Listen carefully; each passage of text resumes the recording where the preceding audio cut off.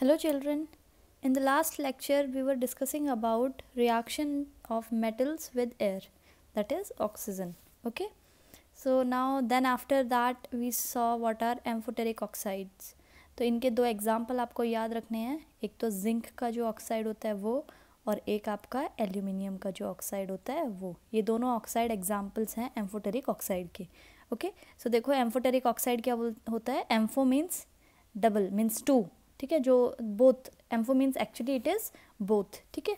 तो ये दोनों तरह से एक्ट करते हैं एसिडिक भी और बेसिक भी। दिस इज़ लाइक अगर आप उसको एसिड से रिएक्ट करेंगे तो यहाँ पे एल्यूमिनियम ऑक्साइड जो है, वो बेस की तरह काम करेगा। ठीक है तो देखो, यहाँ पे सॉल्ट और वाटर आपका फॉर्म होगा एज न्यूट्रलाइजेशन रिएक्शन जैसे होता है, ठीक है? अगर आप इसे बेस के साथ रिएक्ट करेंगे तो ये आपका एसिड की तरह काम करेगा। ठीक है तो एसिड के साथ तो इसका रिएक्शन लिखना बड़ा ईजी है। आप सबको पता है इसका जो पॉजिटिव पार्ट है एल्यूमिनियम, वो इसके नेगेटिव पार्ट के साथ जाएगा क्लोरीन तो एल्यूमिनियम क्लोराइड बनेगा और हाइड्रोजन ऑक्सीजन के साथ जाएगा तो वाटर बनेगा। वेरेज अगर आप बेस की बात करें तो बेस पे इसके पास दो चॉइसेस हैं सोडियम बहुत रिएक्टिव है एल्यूमिनियम से तो यहाँ से सोडियम को रिप्लेस नहीं कर पाएगा, पर हाइड्रोजन को रिप्लेस करके एल्यूमिनियम सोडियम और ऑक्सीजन, मिलके कंपाउंड बनेंगे जिसे हम बोलते हैं सोडियम एल्यूमिनेट। इस रिएक्शन में आप इसकी जगह एल्यूमिनियम ऑक्साइड की जगह जिंक ऑक्साइड लेके रिएक्शन आप ट्राई कीजिए।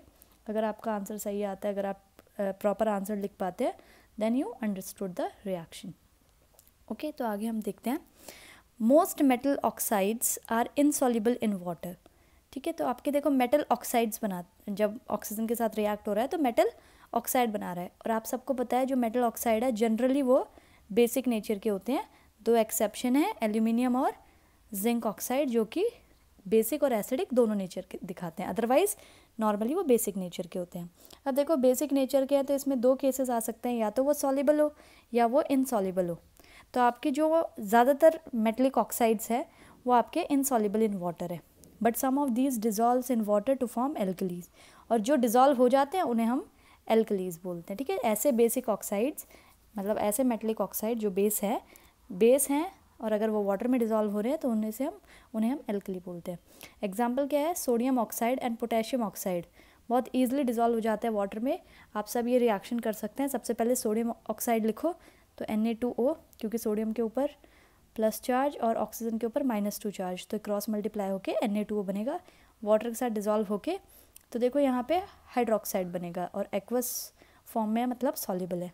वहीं पे आप पोटेशियम ऑक्साइड लेंगे तो के टू ओ वाटर के साथ अब इसे डिज़ोल्व करेंगे तो के ओ एच ये भी एक बहुत अच्छा बेस है और एक्वस सॉल्यूशन बना रहा है मतलब ये एल्कली फॉर्म कर रहे हैं।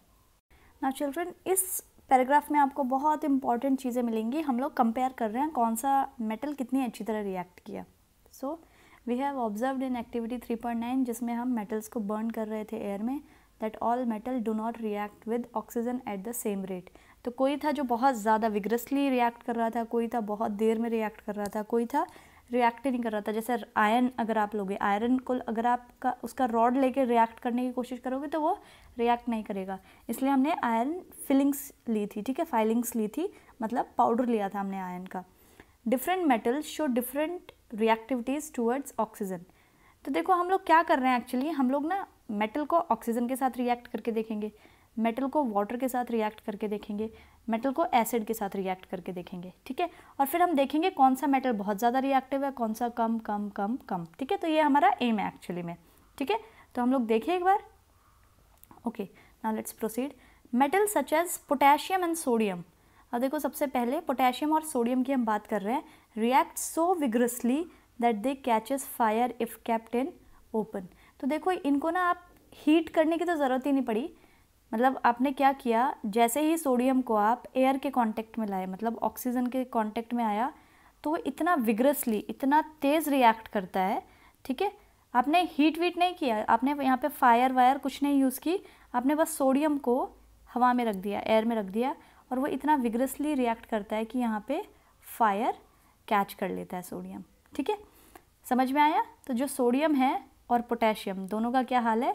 कि ये बहुत विग्रसली रिएक्ट करते हैं। तो हम लोग यहाँ पे साइड में एक जगह हम लोग इनकी पीरियडिक मतलब हम देखते हैं कि ये कहाँ पे जाएँगे ठीक है? तो ये क्या बोल रहे हैं? सोडियम पोटेशियम और सोडियम तो बहुत ज़्यादा रिएक्ट कर रहे हैं तो टॉप पे लिख रहे हैं ठीक है? अब देखो। Hence, to protect them and to prevent accidental fires, they are kept immerse in kerosene oil. अब देखो, यहाँ पे हमने बहुत इंपॉर्टेंट बात क्या देखी कि ये एयर के कॉन्टेक्ट में आते ही रिएक्ट कर रहा है। ये एयर के कॉन्टेक्ट में आते ही फायर कैच कर रहा है। तो हम इसको प्रोटेक्ट करने के लिए ताकि ये जले नहीं। अब देखो सोडियम आपको यूज़ करना है। आपने एयर में निकाल के आप दूसरी टेस्ट ट्यूब में ले रहे थे और जल गया। तो आप समझिए कि उसको हम प्रोटेक्ट करने के लिए कहाँ रखते हैं? कैरोसिन ऑयल में। हम लोग ना वाटर जब पढ़ेंगे तो हम देखेंगे कि सोडियम और पोटेशियम वाटर में भी बहुत विग्रसली रिएक्ट करते हैं। इसलिए हम उसे किसमें रखते हैं? केरोसिन ऑयल में हम उसे अंदर डाल के रखते हैं इमर्ज करके रखते हैं, ठीक है? एक और है, आजकल हम लोग उसको वैक्स में भी रखते हैं, ठीक है? वो मतलब उसके ऊपर कोटिंग रहे कि वो एयर के और वाटर के कांटेक्ट में डायरेक्टली ना आए, ठीक है? तो क्वेश्चन आ सकता है why sodium and potassium are kept in kerosene तो आपको पता होना चाहिए because they react with air vigorously and catches fire ठीक है? नेक्स्ट देखते हैं एट ऑर्डनरी टेम्परेचर अब तो ये तो था कि आपने निकाला और वो जल गया at ordinary temperature surface of metal as अब याद देखिए magnesium aluminium zinc lead are covered with a thin layer of oxide अब क्या होता है अगर आप रूम टेम्परेचर पे आप मैग्नीशियम को एल्यूमिनियम को जिंक को लेड को और कुछ और मेटल्स हैं उनको अगर ऐसे रख के रखेंगे आप उसे हीट नहीं कर रहे हैं अगर आप नॉर्मल रूम टेम्परेचर पे भी इनको रखेंगे ना तो क्या होता है इनके आसपास एक कोटिंग बन जाती है। ठीक है? आप लोगों ने आ, देखा है? जो एल्यूमिनियम के यूटेंसिल्स होते हैं किचन में जो एल्यूमिनियम के यूटेंसिल्स होते हैं तो देखा है कि अगर आप उसको ना स्क्रैच करेंगे तो बहुत ही शाइनी मेटल निकलेगा। पर थोड़े टाइम बाद आप देखोगे उसके ऊपर फिर से एक ना रफ सी डल सी कोटिंग आ जाती है। ठीक है अगर आ, आपके जो एल्यूमिनियम के यूटेंसिल है उन्हें अगर स्क्रब करके अच्छी तरह वॉश किया जाए तो वो शाइन करते हैं और फिर थोड़े टाइम बाद फिर से कोटिंग आ जाती है। ठीक है तो देखो क्या होता है कि एयर में रखे रखे ये रिएक्ट करके एक थिन लेयर बना लेते हैं ऑक्साइड की। तो हम ये बोलेंगे कि magnesium, aluminium, zinc, lead react करते हैं एयर में, ठीक है? और एक इनके ऊपर थिन लेयर आ जाती है ऑक्साइड की। The protective oxide layer prevents the metal from further oxidation अब देखो, जैसे ही ये एयर में आया सपोज़ ये एक प्रोटेक्टिव कोटिंग आ गई इसके ऑक्साइड की। एल्यूमिनियम है तो एल्यूमिनियम ऑक्साइड बन गया। और अगर आपका मैग्नीशियम है तो आपका मैग्नीशियम ऑक्साइड बन गया। ठीक है? आपका जो जिंक है तो जिंक ऑक्साइड बन गया। ये जो लेयर है, अब ये ऑक्सीजन को अंदर जाने नहीं देगी और फर्दर मेटल आपका रिएक्ट नहीं हो पाएगा। तो देखो हम लोग मैग्नीशियम को एल्यूमिनियम को जिंक को और लेड को रख सकते हैं कि ये रिएक्ट करते हैं, एक लेयर बनाते हैं प्रोटेक्टिव लेयर और वो ऐसे ही रहता है, ठीक है? Now iron does not burn on heating but iron filings burn vigorously when sprinkled in the flame of the burner तो देखो आयन जो है, वो तो हीट करने पे भी बर्न नहीं होती, है ना? वो मतलब ऑक्सीजन के साथ रिएक्ट नहीं हो रही है आयन जो है वो ऑक्सीजन के साथ रिएक्ट ही नहीं हो रही है। तो हमने क्या लिया? हमने आयन फाइलिंग्स ली मतलब आयन का पाउडर लिया और उसको जब हमने ऊपर से छिड़का स्प्रिंकल किया तो हमने देखा कि वो विग्रसली आप लोगों ने देखा होगा लास्ट वीडियो में आप लोगों ने एक्टिविटी देखी होगी तो उसमें देखा होगा और वो बर्न करता है। तो देखो, इनसे कम आ गया आयन ठीक है? इनसे नीचे आ गया आपका आयन ठीक है? अब देखें आगे। Copper does not burn but the hot metal is coated with a black coloured layer of copper oxide अब कॉपर जो है वो रिएक्ट ही नहीं कर रहा। अब देखो कॉपर को अगर आप नॉर्मल टेम्परेचर पर रखेंगे तो तो रिएक्ट नहीं कर रहा। उसके ऊपर कोई कोटिंग नहीं आ रही, कुछ भी नहीं हो रहा। आपने कॉपर को हीट किया तो हीट करने पे हमने देखा कि इसके ऊपर एक ब्लैकिश कोटिंग आई। तो देखो, ये वाले जो मेटल्स थे, इनको हमने नॉर्मल टेम्परेचर पे रूम टेम्परेचर पे रखा था, तब इनके ऊपर कोटिंग आ गई। बट कॉपर को कोटिंग देने के लिए मतलब ऑक्सीजन के साथ रिएक्ट करने के लिए आपको हीट करना पड़ा।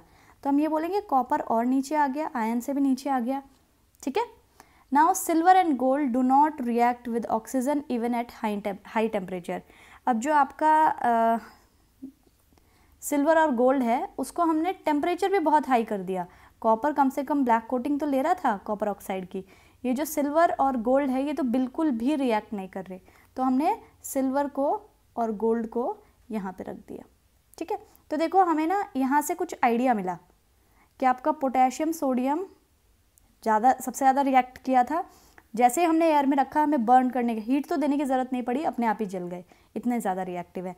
ये रूम टेम्परेचर पे बर्न नहीं किए बट जले नहीं है लेकिन अपने ऊपर एक प्रोटेक्टिव कोटिंग बना ली इन्होंने। ठीक है? तो मतलब रिएक्ट किया, इनसे थोड़ा कम। ये तो इतने ज़्यादा रिएक्ट कर गए थे तो कि फायर ही कैच कर ली। आयन जो है वो रिएक्ट नहीं कर रही है। ठीक है?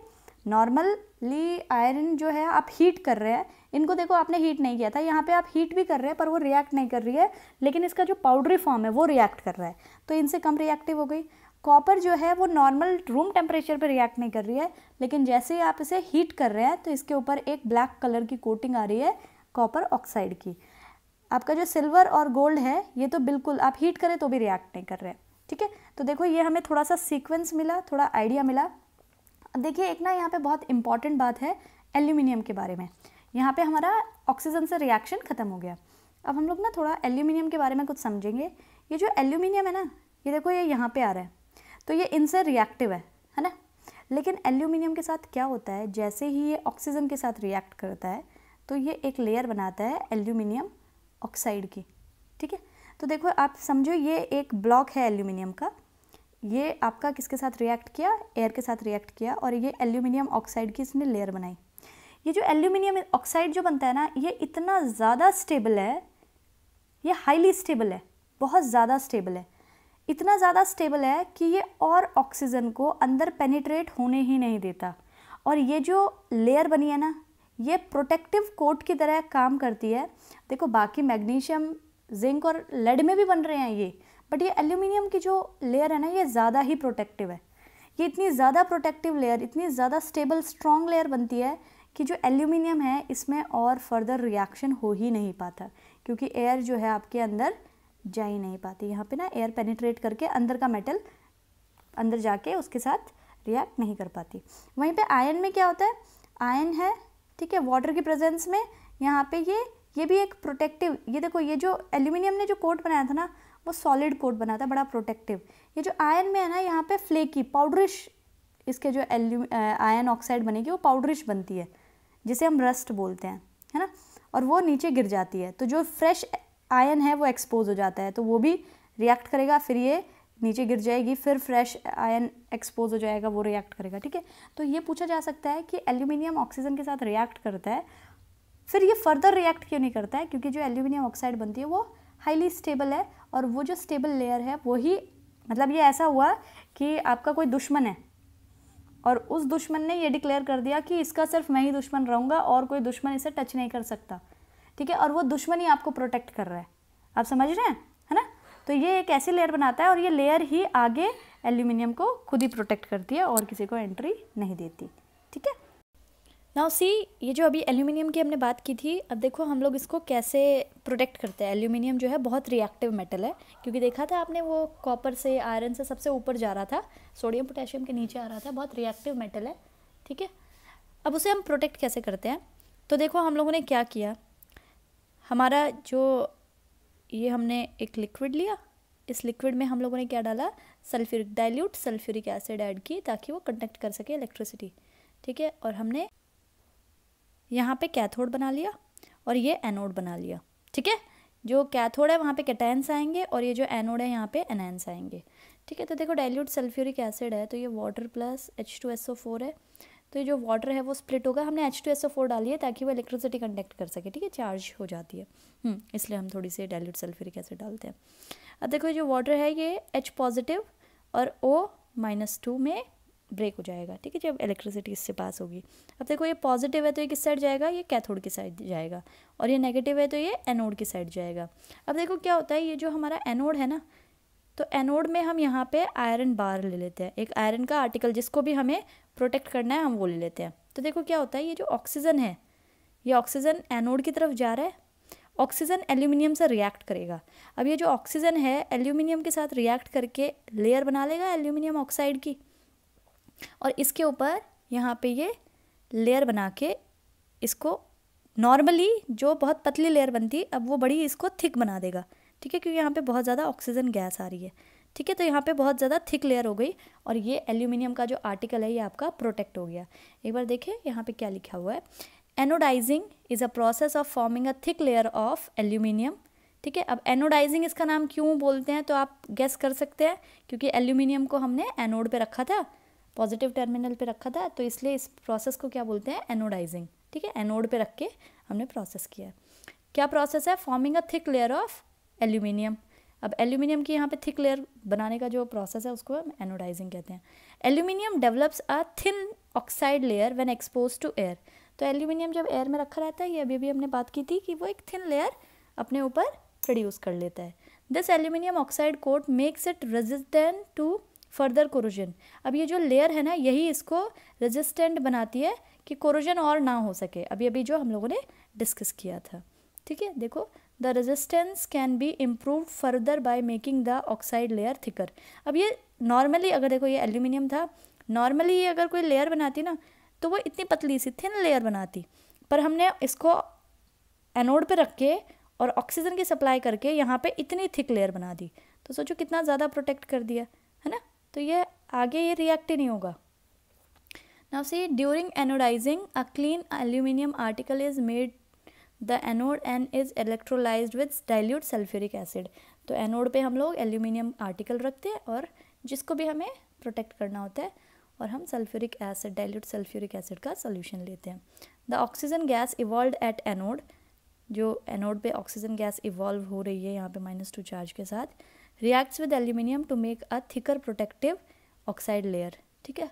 तो यहाँ पे एक thicker protective oxide layer produce होती है। This oxide layer can be dyed easily to give aluminium article and attractive finish अभी जो लेयर है, इसमें हम अलग अलग कलर भी डाल सकते हैं, जिसकी वजह से ये आर्टिकल को हम अट्रैक्टिव फिनिश दे सकते हैं। ठीक है तो ये बड़ा इंपॉर्टेंट है। एल्यूमिनियम के केस में उसकी जो थिन ऑक्साइड लेयर है, वो प्रोटेक्टिव लेयर की तरह काम करती है। एनोडाइजिंग के प्रोसेस में हम उस थिन लेयर को थिक कर देते हैं। और थिक होने के बाद वो जो आपका एल्यूमिनियम का आर्टिकल है, वो बड़ा स्ट्रांग हो जाएगा। उसको अब रिएक्शन से कोई ज़्यादा फ़र्क नहीं पड़ेगा। ठीक है, क्योंकि इसके सामने एक प्रोटेक्टिव लेयर है एल्यूमिनियम ऑक्साइड की। Now see After performing activity 3.9, you must have observed that sodium is most reactive of the sample of metal taken here. ठीक है तो सोडियम हम लोगों ने टॉप पे लिखा था सोडियम और पोटेशियम ठीक है the reaction of magnesium is less vigorous implies that it is not as reactive as sodium आपका मैग्नीशियम एल्यूमिनियम जिंक और लेड जो है वो इसके नीचे लिखा था हमने है ना? ये फ़र्स्ट लाइन थी ये सेकेंड लाइन थी। But burning of oxygen does not help us to decide between the reactivity of zinc iron copper and lead और देखो कॉपर नीचे था। अब देख, देखो क्या प्रॉब्लम हुई। अब ये जो है सारे, ये एक तरीके से सेम रिएक्शन दे रहे थे ना कि एक थिन लेयर बना रहे थे ये। अब हमें ये नहीं पता चला ये तो हमें पता है कि ये जो सोडियम है, ये मैग्नीशियम से ज़्यादा रिएक्टिव है और कॉपर उससे कम। लेकिन हमें ये नहीं पता चला कि जो मैग्नीशियम है एल्यूमिनियम है जिंक है और लेड है, इनमें कौन ज़्यादा रिएक्टिव है, कौन कम? तो सिंपली ऑक्सीजन के साथ रिएक्ट करके हम इस कंक्लूजन को नहीं यहाँ पे पहुँच सकते। तो हम लोग मोर रिएक्शंस करेंगे। Let us see some more reaction to arrive at a conclusion about the order of reactivity of these metals तो हम इनको किसी और के साथ, अब वाटर के साथ रिएक्ट करके देखेंगे तो क्या पता हमें इन तीनों के बीच में थोड़ा सा, चारों के बीच में थोड़ा डिफरेंस पता चले, ठीक है? तो एक्चुअली हमें ना रिएक्टिविटी हम चेक कर रहे हैं यहाँ पे रिएक्शन करके। सो नेक्स्ट वीडियो में हम वाटर के साथ मेटल्स का रिएक्शन देखेंगे।